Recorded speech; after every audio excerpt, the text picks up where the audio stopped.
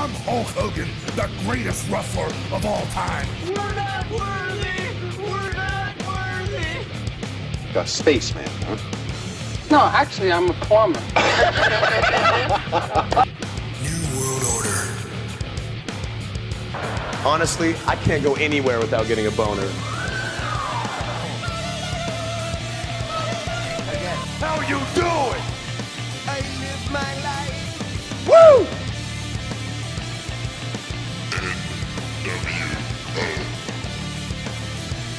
Sweet baby Jesus in the office. Well, well, well, everyone. I hope uh, you are uh, doing well, everyone. Uh, my name is Jonathan, and uh, you're watching uh, Wrestle Rock Podcast. Uh, tonight, uh, uh, this is uh, my partner, uh, Benoit, aka Nostrada Ben. How you doing, my friend? Not too bad, and you? Yes, not Today, bad, uh, not bad, because Today uh, we have uh, not one but two special guests. Former uh, WWE uh, talents, uh, Mr. Uh, B. Brian Blair and Jumping Jim Brunzell, formerly as, known as uh, the Killer Bees. yes, how you doing, guys? Very well. Thank you very much for having us. Doing Yeah, wonderful. thank you so much. Jonathan. Uh, this is an honor. Thomas, Ben. yes, uh, this is an honor and privilege. Uh, honestly, uh, this is very cool that you uh, that you agree uh, this uh, this time with us. So, uh, with with from from the bottom of, of my heart, thank you so much, guys. Of my heart, too. Yes, yes. And uh, Well, we thank you for- a lot of uh, memories, such as WrestleMania three, and I and uh, they they saw you in the ring, and that was just uh, amazing. So uh, I believe that we can uh, take a good moments uh, together. So uh, thank you so much, guys. Thank you, and it's a pleasure to be on the Wrestle Rock podcast with you guys, of course, and especially knowing that we have a predominantly Canadian audience. And um, you know, Jimmy and I spent a lot of time in Canada. Boy, Uh, perhaps Toronto was our actual best town. We loved Quebec. We loved Montreal. We loved uh, all over Canada, uh, traveling all over Canada. And, um, you know, we consider us, uh, we consider you our brothers and sisters to the north. And uh, we just appreciate our Canadian friends so much. Uh, Thank you very much, that- Mr. That's Blair. pretty cool, and uh, Jimmy, that's the same. Uh, honestly, uh, just before, just for you, uh, listener, uh, just before the interview, uh, we spoke probably five or ten minutes from anything. The guys are amazing. Honestly, Th- th- this is very cool. So we're going to go forward with some questions. Um, before um, professional wrestling, we know that Jim, um, you play in football for uh, for many years, and you uh, you got to try out with uh, the Washington uh, Redskins, right? yes, sir. Yeah. Yeah, it was. Uh, yeah, I, I played one year of semi-pro football in a in a town called Manitowoc, Wisconsin, and from there I got an invite for um, what they call a, a, a free agent tryout. So I went down to uh, Washington D.C. and there it was only four or five days, and there was a lot of guys there, and I, I was scheduled as a tight end. I only weighed two twenty, so Okay. um, I thought I did pretty well, but they only invited I think three guys to the uh, formal uh, fall uh, tryout. So uh, it wasn't meant to be. And um, can you explain to us why your football career has been stopped? Because uh, by you, you are a, a pro wrestler, so. Well, you know, if if you realize that um, you know you have an opportunity, and and rather than trying to bounce around with different teams trying to get a tryout with, uh, matter of fact, the Vikings uh, told me that they would like to give me a tryout, but they they didn't want to cut any Minnesota kids. So, in other words, they were they weren't going to keep me. So, so I had the opportunity, you know, uh, with Greg Gagne, uh, who he and I were uh, teammates at the University of Minnesota, and then he transferred to Wyoming. So, and maybe this is somewhere down uh, on your list, but so Greg invited me after I came back to the university to get my degree he invited me to come to his dad's wrestling camp, and he had Ken Patera, and he had Khosrow Vaziri, and he had the Nature Boy Ric Flair, Yeah. Greg Gagne, myself, and Bob Bruggers. So, What, what, That's- tell them who Bob Bruggers is. well, Bob Bruggers was a, a hell of a, a athlete at the University of Minnesota, great basketball player, and then he played uh, linebacker for San Diego uh, Chargers for a number of years. Yep. And then actually, he had, he probably had out of all of us, he he probably had the the best God given talent, but he was involved in a plane accident, a plane crash, Okay. and broke broke his back and never wrestled again.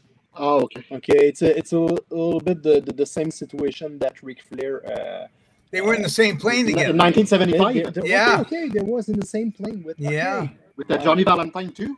Yes. Mm. Yeah, that was a an horrible story. Yeah. Well, thank God they lived.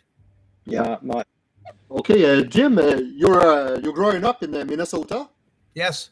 Okay, uh, is it uh, the reason that you made the decision to join the American Wrestling Association, owned by the late Vern Gagne, earlier in your wrestling career?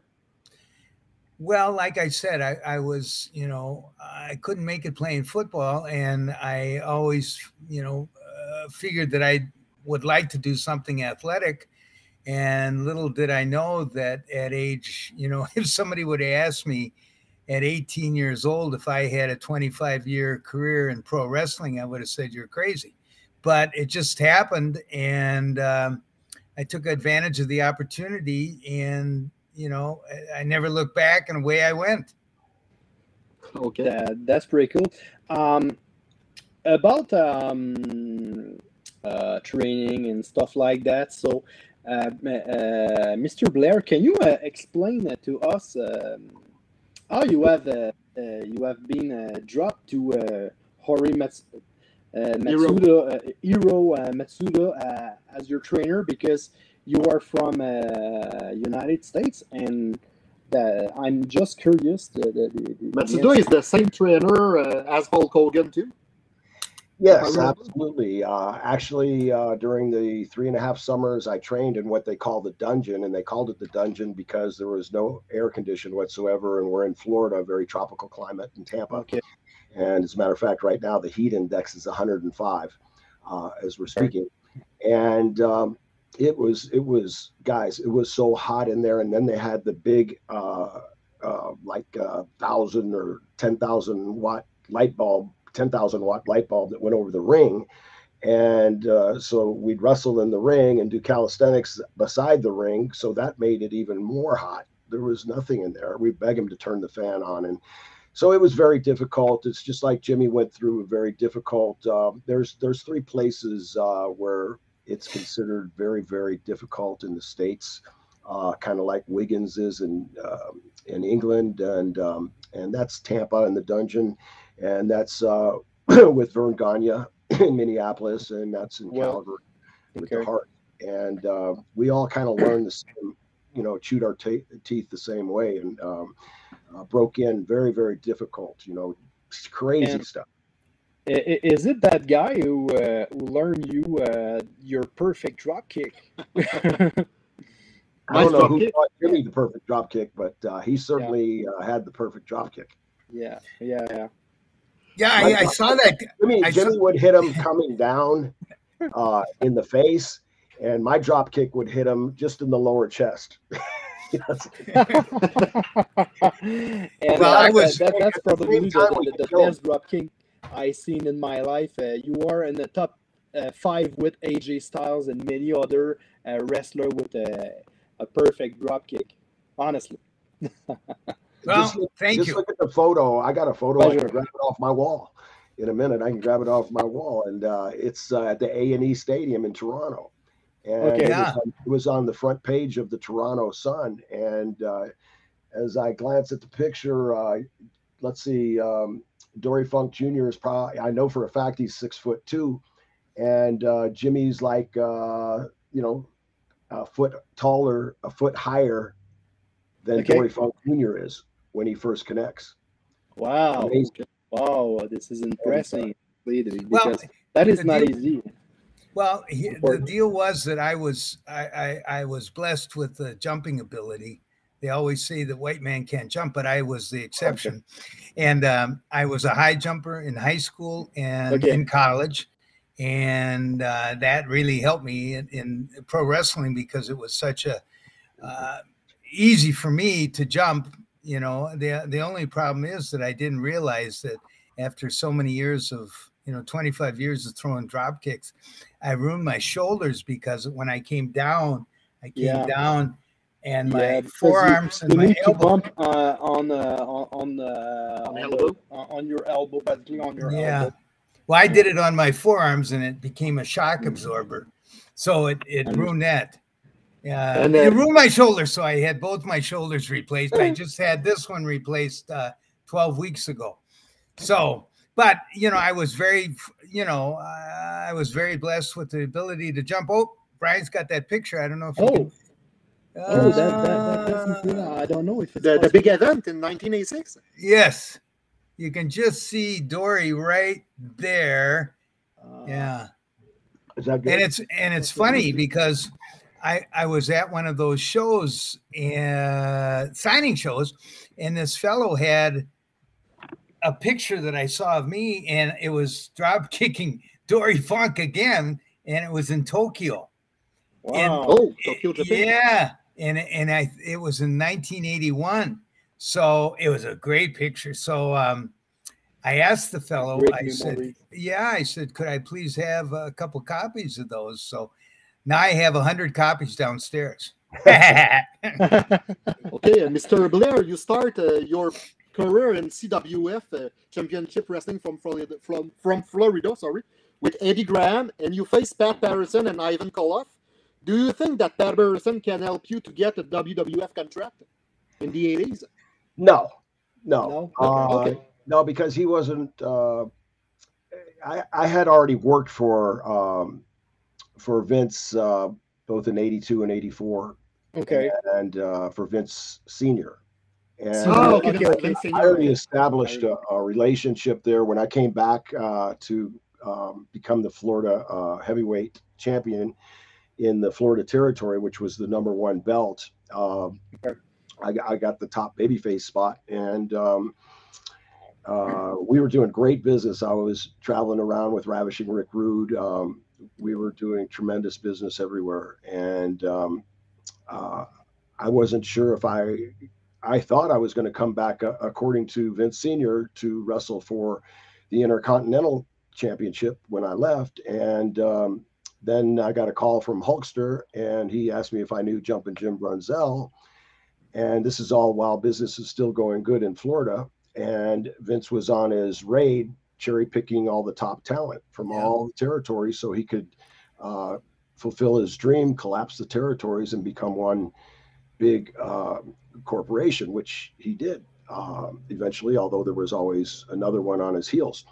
Um, he, uh, though, was successful in getting the territories. But Terry called me and said, uh, Hey, have you ever heard of Jumping Jim Brunzell? And I said, Yeah, in the magazines. I've never met him. And I know he's uh, a tag team. And he said, Yeah, well, Vince wants to create a really uh, elite tag team division and he wants only the best. And I mean, he's going to make this very, very uh, competitive, very serious. I had uh, a couple demands. A, I wanted to make sure we got the belts. That was promised then. Uh, uh, he told me what a good guy Jimmy was, uh, which we met in Brantford, Ontario. Um, and 45 minutes before the match, um, George Scott was there and we had to come up with a name. And finally, we came up with Killer Bees. Vince loved it. We became the Killer Bees, and Leaping Lanny Poffo reaches down in his bag and he pulls out a couple pair of bee trunks. It was like he had a big hockey bag. He had everything but the kitchen sink in that hockey bag. And uh, so uh, we actually wore those Killer Bee trunks and became the Killer Bees uh, that night in Brantford, Ontario. And uh, the tag team division uh, to this day is legendary.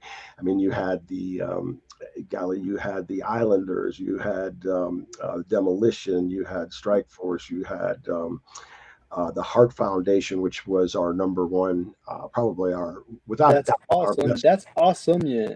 opponent. Can you imagine that you you wrestled in the good old days. That that that's unbelievable.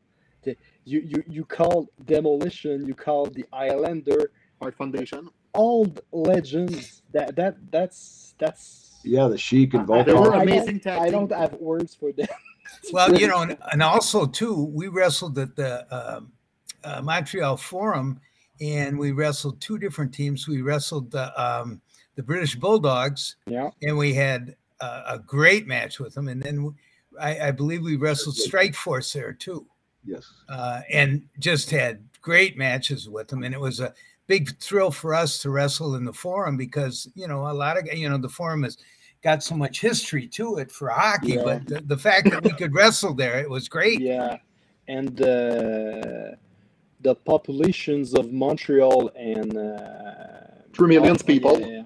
and all the the province uh, collaborate with with uh, any shows such as music shows, Yep. uh, wrestlings, and we are uh, we are allowed. so. Uh, and we participate and we collaborate with uh, with each other. So Yes. I, I believe that you have uh, probably good memories in forum. Uh, Great memories. Yes.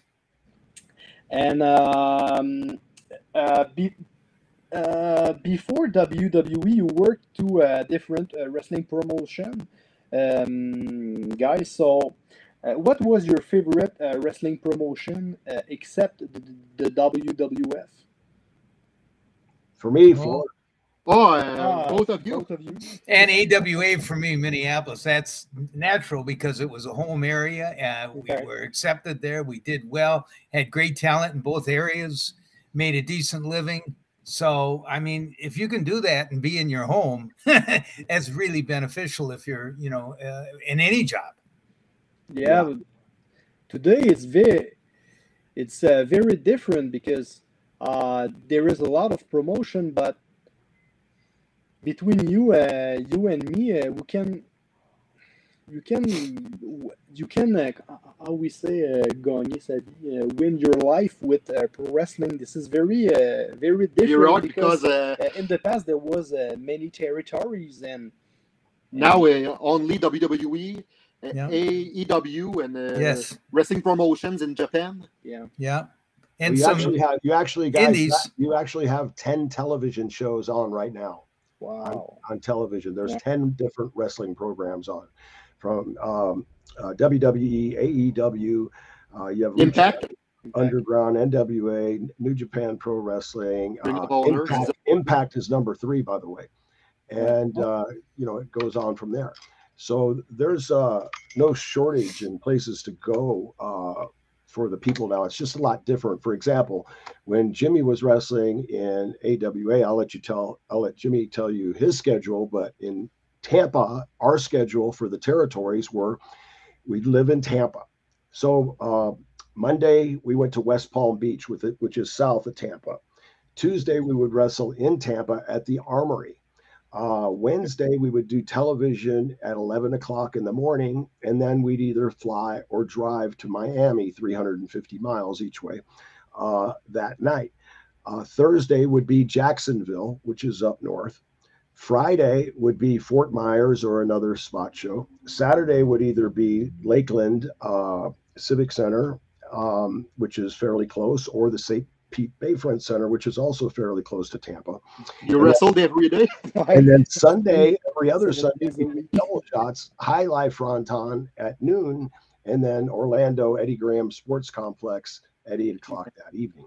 So when you put your uh, two television matches on top of those eight matches, you're wrestling nine times a week. And we very seldom had a day off. Very seldom. Wow Now, Wow, Jimmy's wow. was a lot more uh, hoity toity than what we had.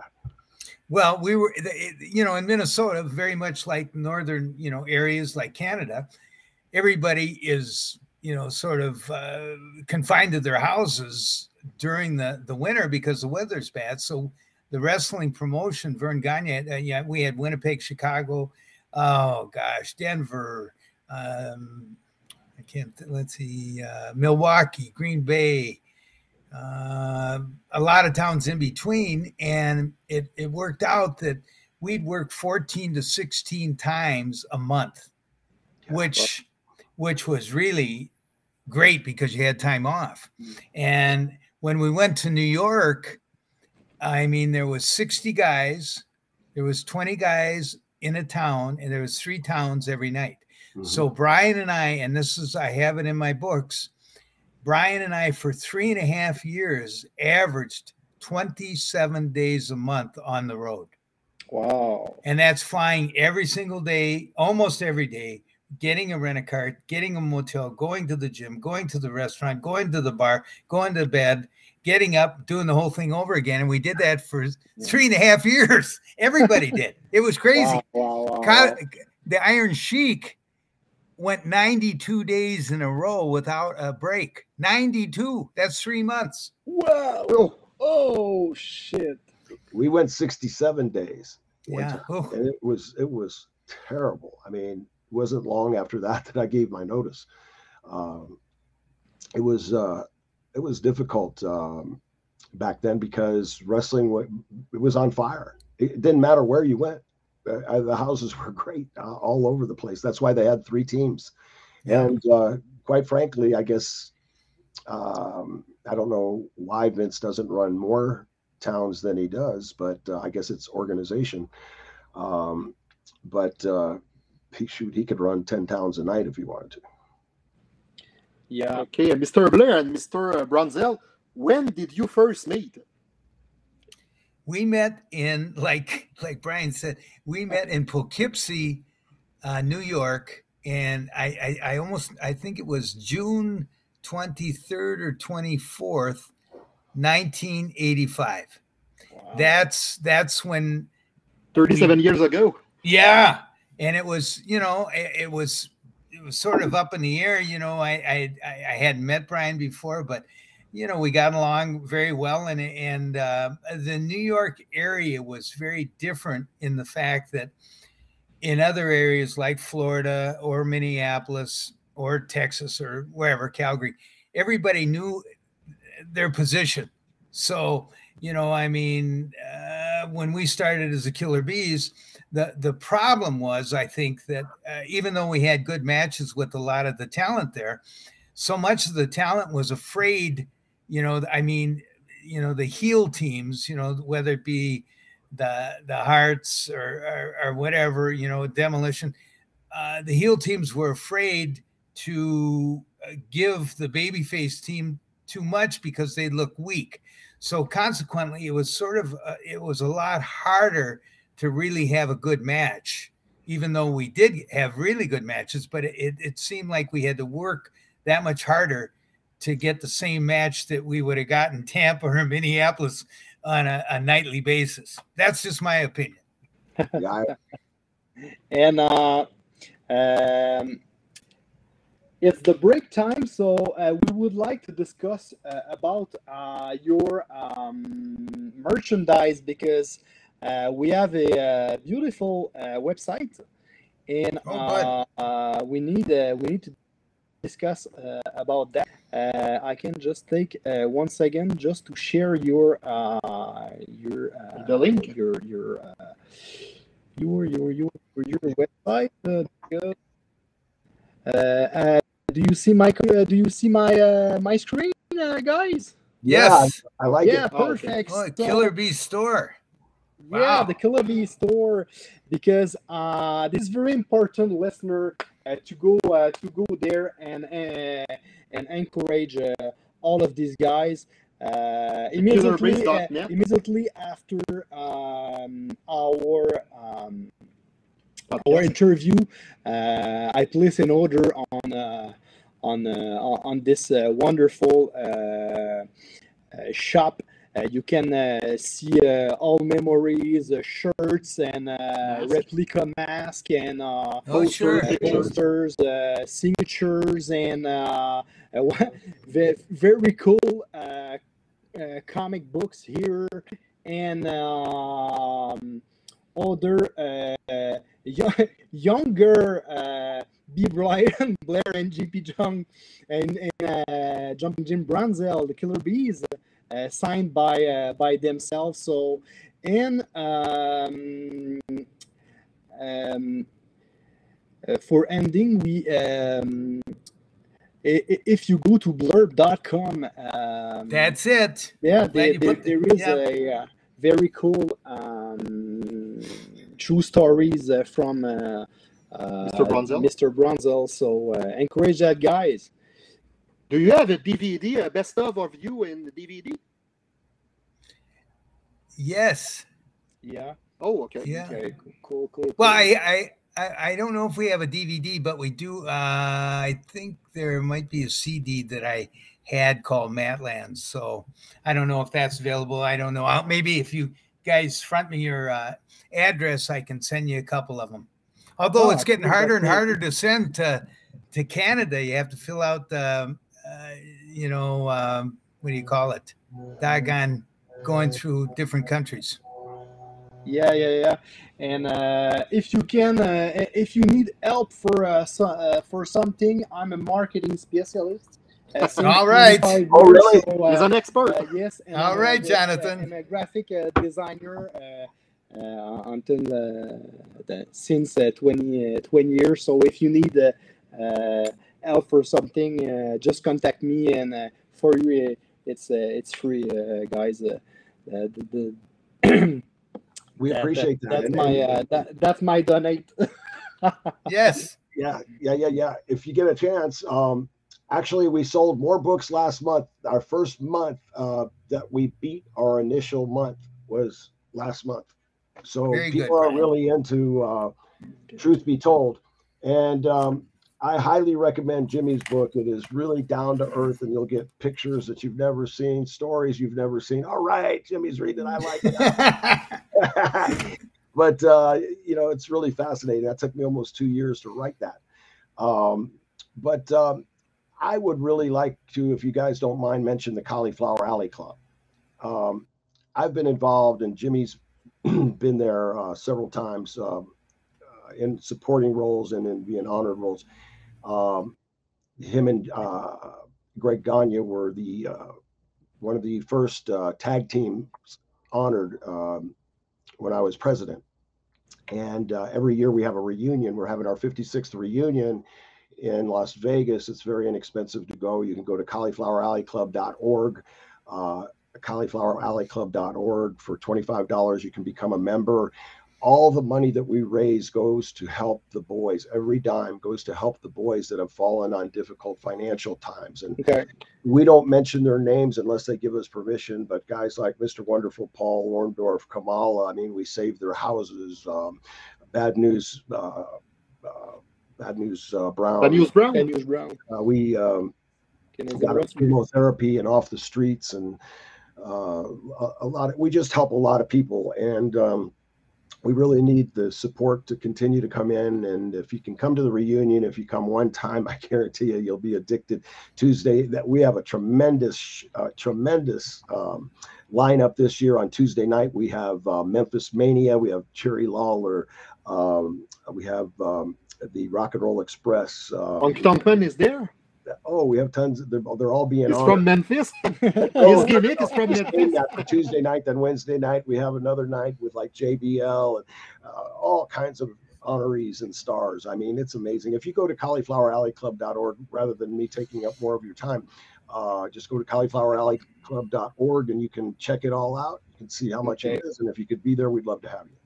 That, that that's pretty cool. So uh, just before the interview, I spoke with uh, with Benoit and uh, and I said uh, uh, we have no choice to take an air uh, to take a, an airplane to uh, to go in a re- uh, uh, to go in a WrestleCon uh, to, to to shake your hands, guys. It will be an honor to us. yeah. Yeah, WrestleCon was great. Yes, Yeah. it was. It was a lot of people. Uh, what was your uh, your next uh, shows? We were just in Dallas, so it won't Dallas. be until next year. is uh, It Dallas. coincides with WrestleMania. Okay. AT&T Stadium. It's in California, yeah, uh, next year, right, Jim? Ah, next year, yeah. Yeah, next year. The stadium of the Los Angeles Chargers, if I Yes. remember. Yes. Yeah. Yes, so uh, we can uh, continue with uh, some of our other uh, questions. So, uh, where you get uh, the, the Killer Bees name? Because uh, I read uh, on the internet uh, some of rumors that uh, Hulk Hogan uh, uh, have probably uh, uh, put the names on a map. So, uh, is it a rumor or it's true? A fact or rumor? A fact. That's a rumor. That's, That's a a rumor. rumor. Okay. But it did come from Florida, and I'll let Brian tell you.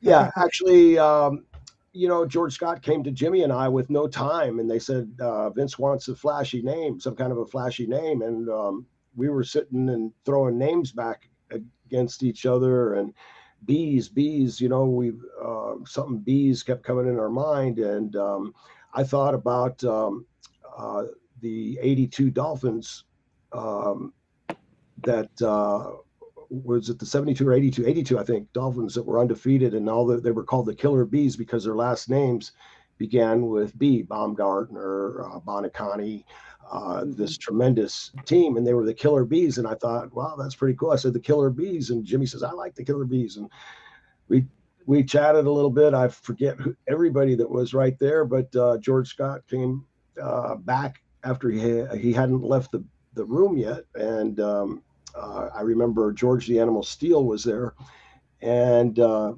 we said, uh, hey, George, how about the Killer Bees? And he goes, Killer Bees, Killer Bees.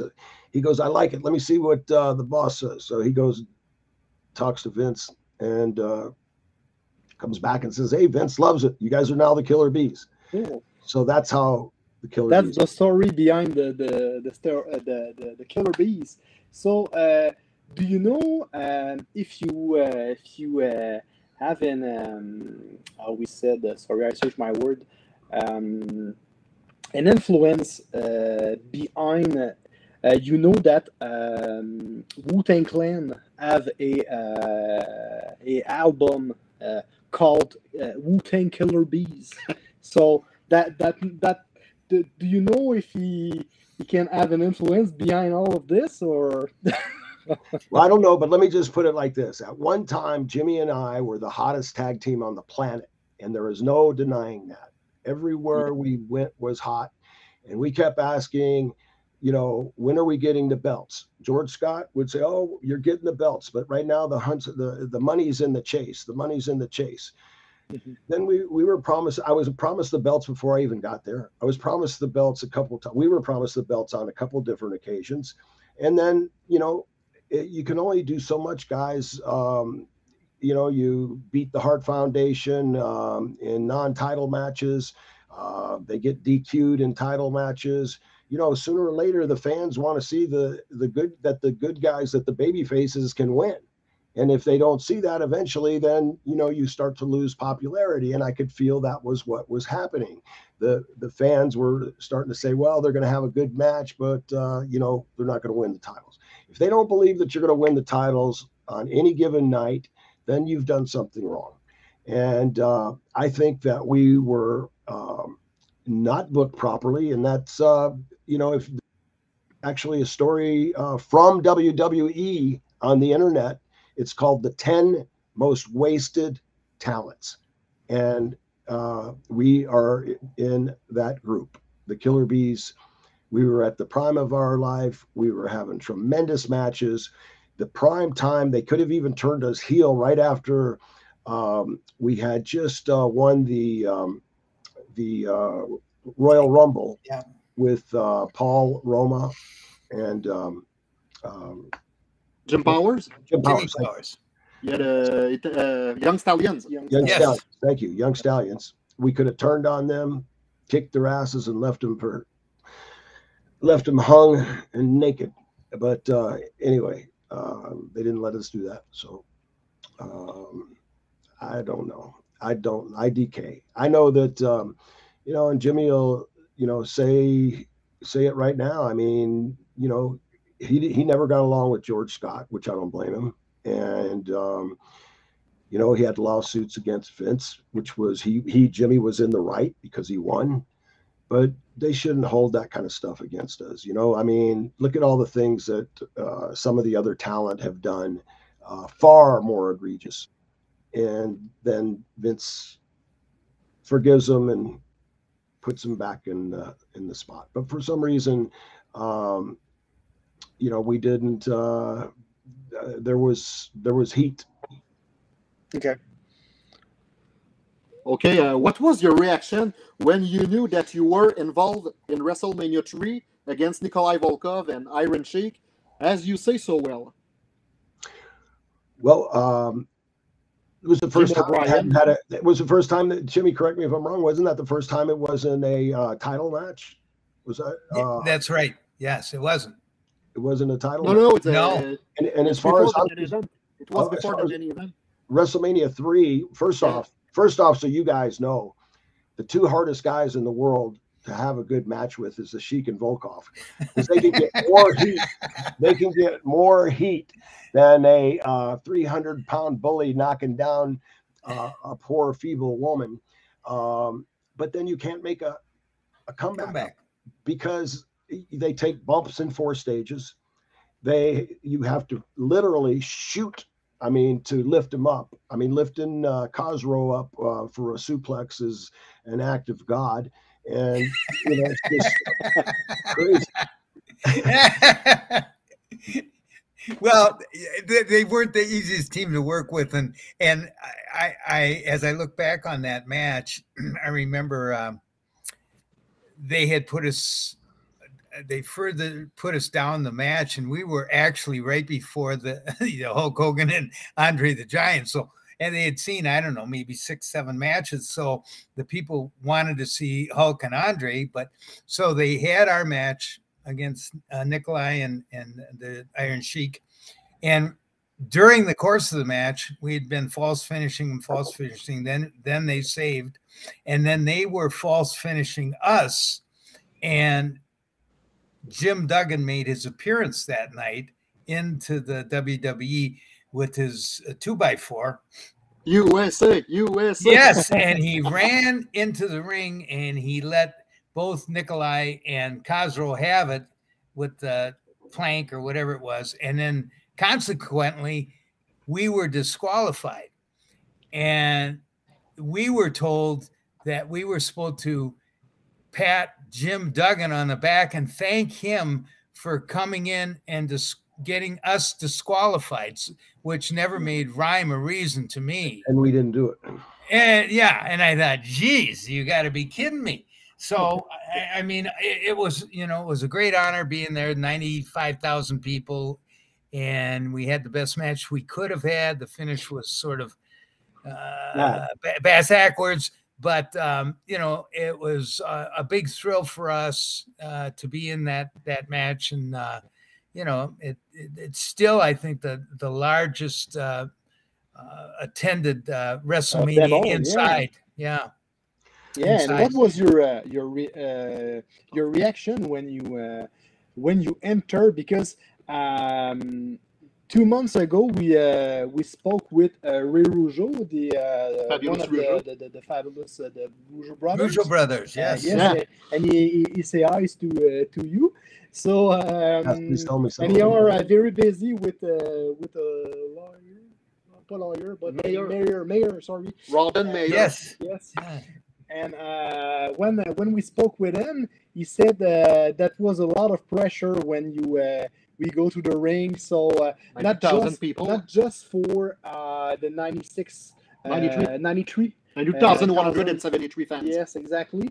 And uh, but uh, that was the first ever um, uh, wrestling pay per view. So and how do you feel after this this experience? Well, I, I, feel great about it no matter what, because I mean, it's hard to get much higher than heading out in front of 92,173 people. And I don't know if they counted Monsoon and Jesse or not, but uh, uh, yeah, on a modified golf cart in a modified pair of underwear. Yeah. Uh, you know, there's electricity in the air like you cannot believe. I mean, it's something that you'd have to be in that position to understand. But it's about as big a euphoria as you could possibly get. And um, uh, I wouldn't trade that experience for you know any other experience that I've had. It was one of my greatest, uh, most enjoyable experiences of my mm-hmm. wrestling. Yeah, because I imagine that this show is is bigger than ever, and just a simple, uh, ju- just a simple uh, problem or uh, can impact all your career. So uh, that that's pretty cool. And I remember that that that that was an opportunity to to to go there because uh, I remember that that was uh, awesome matches uh, Andre the Giants against Hulk Hogan, uh, Randy Savage against um, Steamboat, Steamboat. Roddy uh, Piper versus Roddy Adrian Adonis. That, that was Yes. probably the, the ladder match I've seen in my life. Uh, yeah, in the 80s. yeah, yeah, yeah. And uh, just before uh, the main event, uh, I imagine that you uh, that You were you were nervous. I, you know, I don't think we were that nervous. We, you know, we had, you know, I mean, when you've been in the business uh, X amount of years, you you realize what's expected of you, and you're professional enough to know that you're going to do your best, and that's what we did. And you know, the match was a success. It could have been a better finish, but you know, it, it was still a, a, a above par match. So we're happy with it. The Yeah. only problem is it took 12 weeks to get paid. Yeah, because after it takes a long time for all the pay per view revenue to come in. So I don't know how many people in total actually watched that at the time, but I would venture to say that more people have seen um, the faces of the people that were on that wrestling card than uh, probably any NFL or any other sport um, that there is um, uh, during whatever time you want to compare. Um, you're actually you don't have anything covering your face unless we were doing mass confusion. you um, you know you're as exposed to the people as you can possibly be, and um, you know you have so many um, video rentals, so many pay per views. So there's so many ways that the people see you that um, you can't even count. I, I don't know what the estimates are. They they count what's as close as they can, but then you've got all the bootleg or the people that watch them for free. What do you call that? Piracy. Yep. Uh, you know, you can't add all that stuff, but millions and millions and millions and millions and millions of people. You know, you couldn't get on an airplane and people not recognize you. For ending, uh, gentlemen, uh, uh, what can we expect to you for your next few years? Good health, hopefully. Amen. Amen. Amen. Amen. We've been uh, doing a lot health of uh, very important because uh, with no health you can do That's uh, right. nothing. Not Health is wealth. Remember that. yeah. Every This day is is a very- gift. Yeah, yeah, yeah. This is very important. So, uh, thank you so much, uh, guys, uh, for being here for wow, 40 uh, minutes. That's very, very appreciated, guys. It was an honor to us Yes, to yes, uh, yes, speak yes. with you. Yes, thank you so much. I know that you are very busy with uh, WrestleCons and uh, requests and uh, Many stuff. interviews. Yes, exactly, exactly. So, thank you so much, guys. Uh, Jonathan, it was uh, John. Uh, this is Jonathan. Can I ask one question? Can can Yeah, sure. Nostradamus can Na- Nostradamus Ben? Can you please predict Jimmy and I's future? Oh, oh, maybe uh, a future uh, WWE Hall, Hall of Famer introduction. yeah. Maybe. Amen. There you go. I hope for you. I got the rings already. Yeah, yeah, I'm going to send you one, Brian. I got five of them. Beautiful. this guy sent me. I love it. I love it, Jimmy. Can't wait. Jonathan, to This see is, Ben. uh, this is super important that you uh, you can uh, in- in- introduce to uh, to the. You the- deserve it. Yes, you deserve it, and you are uh, all uh, good, healthy, alive, bold, and uh, we uh, we appreciate your your relationship together. Uh, we know that is uh, it's a ve- very uh, very uh, good uh, relationship and uh, You're like two brothers, yes, Yep. like Yeah. uh, me and Jonathan. yeah, Yeah. Right. Yeah, Yeah, yes. yeah, yeah, and uh, just ju- just a, a- a simple fact me and uh, my partner benoit uh, born in the in july uh, 11 1984 Wow. that was yeah. a good Same year. date. The Young same day. babies. yeah, yeah, yeah. So Fantastic. we uh, we understand the uh, the brothers The connection you know uh, what i mean with two friends. That's right. yeah That's right. so uh, thank you so much guys for your time this is Thank you, jonathan from wrestle rock podcast uh, i'm with uh, with my partner uh, benoit aka Nostrada Ben thank you so much my friend Ah, you're welcome, Joe. yes sir Thanks, guys. Thanks, I'll talk guys. to you soon, Brian. Goodbye, gentlemen. Take care, Yes, guys. Thank Okay. you so much have a good one Peace. Goodbye.